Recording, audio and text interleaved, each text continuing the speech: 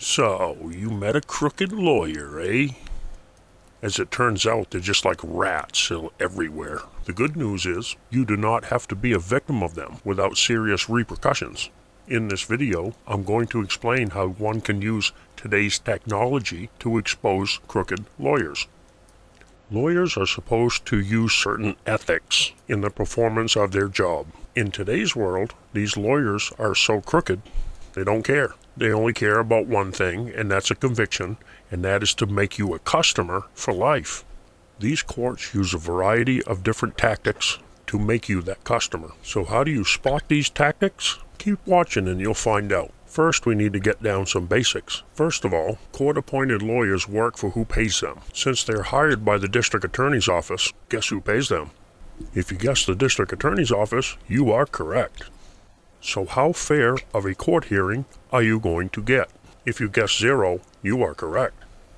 If you ever wondered that if the judge, the district attorney, and your court-appointed attorney get together before the trial and discuss what the outcome would be, the answer would be yes. They do it all the time on every trial.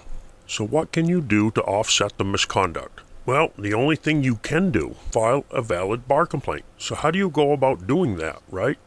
The first thing you need to understand the person going over the complaint will be a fellow attorney that is in all probability golfing buddies with the attorney you are filing the complaint about.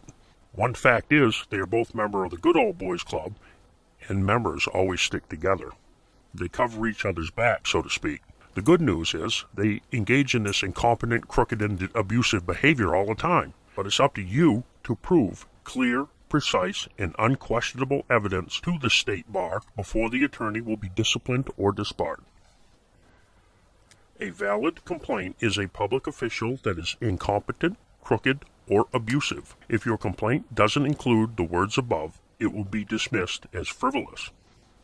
You need clear, precise, and unquestionable evidence of the public official being incompetent, crooked, or abusive. You should also use those exact words in your complaint. If you don't, they will throw it out as frivolous. Now, frivolous is ideological, fantastic, or incoherent like something foolish. You're trying to accuse a person of being an alien or something like that. They'll throw it out. Don't use any, you know, words like psychopath or anything like that. A valid complaint definitions are malfeasance, nonfeasance, and misfeasance. And believe it or not, they do all of these all the time. Malfeasance means the willful commission of an unlawful or wrongful act in the performance of a public official's duties, which is outside the scope of the authority of the public official and which infringes on the rights of the person or entity. This is anything they do that is wrong or illegal, like hide evidence. That's malfeasance. Now look these words up, but these are just basic definitions. Nonfeasance means like a prosecutor willingly refuses to charge an individual because they're a friend. That is nonfeasance. Nonfeasance means the willful failure to perform a specific act which is required part of the duties of the public official. In Maine, this is one of the most pervasive misdeeds by the district attorney. It's called the Brady violation, or failure to turn over favorable evidence to the defendant. They do this all the time. It is the most common form of misconduct cited by courts in overturning convictions. There is very little to hold prosecutors to the Brady obligation except filing valid complaints against them. Now, misfeasance. Misfeasance means the negligent performance of the duties of a public official or the negligent failure to perform a specific act which is required part of the duties of the public official. How to file a valid bar complaint. Well, the first thing you have to do is gather clear, precise, and unquestionable evidence of misconduct. Now, in today's day and age, this is very easy. First thing you want to do is go over to Amazon.com and in the search bar, you type in camera glasses. And on the search results page, you will see all kinds of these wonderful James Bond type glasses. They look like eyeglasses, but they actually have a high definition camera and audio in them. This is your ace in the hole for catching a crooked lawyer being incompetent, crooked, or abusive. Other than that, it's your word against theirs. If they don't know that you're recording them because you're wearing these glasses that look like eyeglasses, they're going to pull some very bold moves, and you can catch them. If they know they're being recorded, of course, they're not going to say anything to you. Most of these lawyers look at the general public as complete idiots. So using glasses like these to record the audio and video of these encounters is priceless in filing bar complaints and making YouTube videos. These glasses are reasonably priced at around 50 to $60 and will record full audio and video for approximately 45 minutes to one hour. That should be just enough time to go visit your lawyer at his office and record the entire encounter. Once you have your lawyer with clear, precise, and unquestionable evidence on video and audio, you can then research what they have violated. One thing these court appointed lawyers do all the time is violate confidentiality rules. So you could easily catch a lawyer on video or audio violating this. You can also catch your lawyer lying to you because they do this now out of routine. And there are several violations which you can go over on the Maine bar website to look out for. After you have your video with these glasses of your lawyer being incompetent, crooked, or abusive, you have to find that clear, precise, and unquestionable evidence. Go over to the mainebaroverseers.org. You click on Regulation, Maine Rules of Professional Conduct. And then once you get to that page, you look down and it says it has a big table of contents on client lawyer relationship. You need to go to go down through the first few and read them they have to have competence. They have to have scope of rep- representation and allocation of authority between client and lawyer. They have to tells you about diligence, tells you about communication requirements, fees that they can charge, confidentiality of information, which they violate all the time. They violate conflicts of interest to current clients duties to former clients, they violate all kinds of these rights, but this is where you find them is the mainebaroverseers.org Maine rules of professional conduct. Okay, so you've got your audio and video of your lawyer being them, and you go over to the Board of Overseers of the Bar, or you can find a condensed version on despicablemaine.org of these same rules and regulations that they have to follow and you go down there and you identify the clear, precise, and unquestionable evidence of the misconduct. Now, once you do, you have to write a bar complaint. Most states have complaint forms for you to fill out. They make it look like an official document that must be filled out because they made it. You do not have to use their complaint form. Some complaint forms in some states ask all kinds of ridiculous information they have no right even asking about. Like if you go over to Maine, you see that they ask for birthday, and social security number. They have no right to ask that type of information. I want to tell you why they want that information.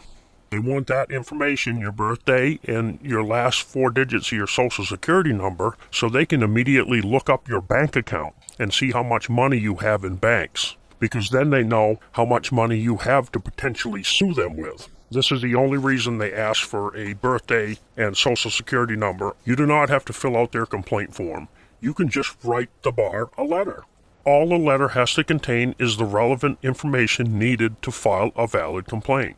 Some states are so despicable with their complaint form they ask you to sign a sworn statement and get it notarized. If you see this trap on your complaint form, it is put there to discourage you from filing the complaint. It is a psychological trick to discourage you from filing that complaint. Think about it. When most people see that it has to get signed by a notary and they have to pay a notary to do that, most people are going to think, no way, I don't want to go through all that. And this is why they do it.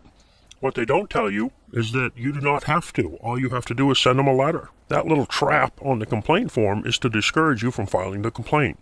It is psychological propaganda at its best. Or at least I hope it's the best. That's a pretty devious trick.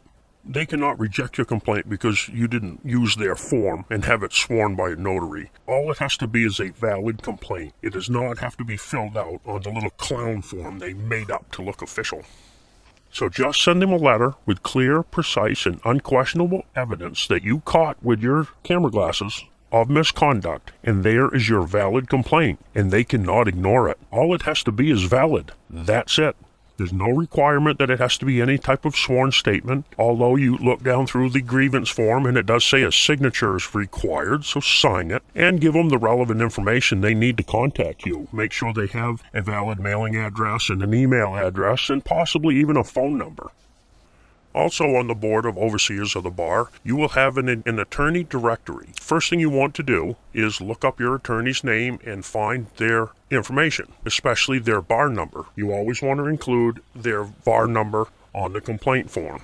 Remember what happens when you send your complaint letter in. You're sending it to one of their friends, and their friends are going to try to find anything they can to make it frivolous and throw it out. If you provide them with clear, precise, and unquestionable evidence, you are going to force them to take actions against that attorney. Without the evidence of the camera glasses, it's your word against theirs. And the first thing the bar is going to do, they're not going to do anything. They're going to take your information that you sent them, everything. They're going to copy it and send it directly to the attorney that you're filing the complaint about. The attorney then gets to go over that information and then come up with whatever lies to lie their way out of it if you have video evidence, it's going to be awfully hard for them to get past the audio and the video. Then the bar will contact you again with a response letter letting you know what is going on or their decision. It is recommended to file a bar complaint for each individual offense you witness any court appointed lawyer doing. They don't have to be your lawyer. If you are in a courtroom and you witness a lawyer engaging in misconduct, you can file a bar complaint against that lawyer. It don't matter who it is. It doesn't matter who their client is. It doesn't matter if they are your lawyer or somebody else's. If you see any lawyer or prosecutor or judge engaging in malfeasance, nonfeasance, or misfeasance, then you have a valid bar complaint. All they have to be done is witnessed to be doing these violations. And you can get an idea on what information that you should put in bar complaints by using the bar website to look up different attorneys and look up decisions, awards, and hearing schedule.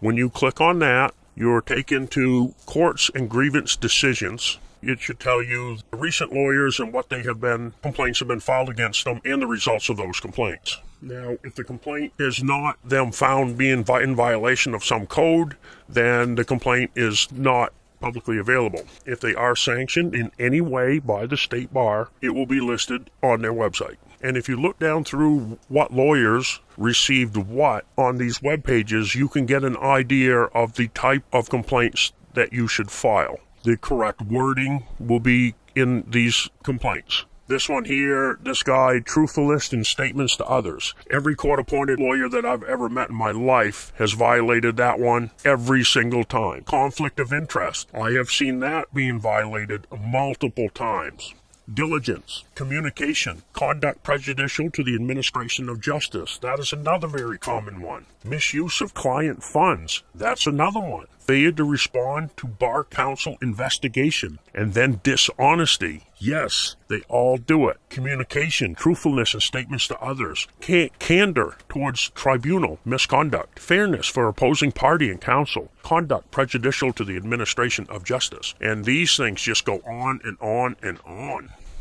So take your time, do your homework, gather your clear, precise, and unquestionable evidence with something like those camera glasses.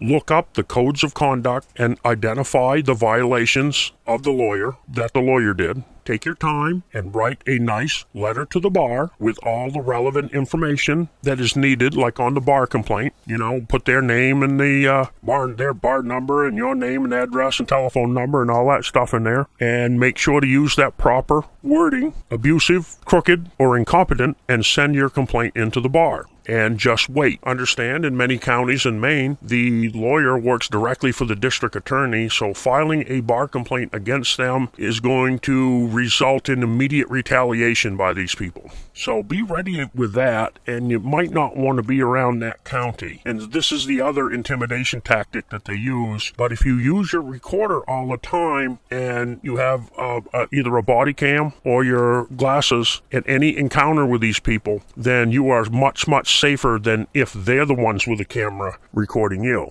Before you go and visit your attorney, once you're all ready with your glasses, a body camera, or at least your cell phone, a list of questions that you want to ask the lawyer. If you ask the right questions, they will set themselves up and immediately violate the rules of the bar.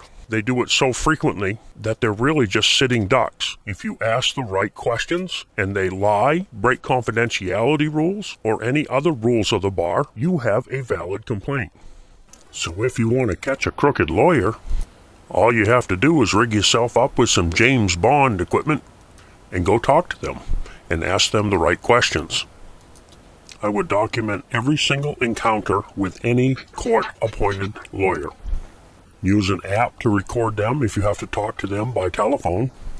And remember, anything that you say to them can and will be used against you. Document everything. Identify clear, precise, and unquestionable evidence of misconduct. Have the proof of that misconduct, and you will have a valid bar complaint. Some of these lawyers think they're so smart and like to manipulate and twist things around and screw you over. Turn the tables back on them and use technology and truth to take them down. Learn more on how to file valid bar complaints at despicablemaine.org.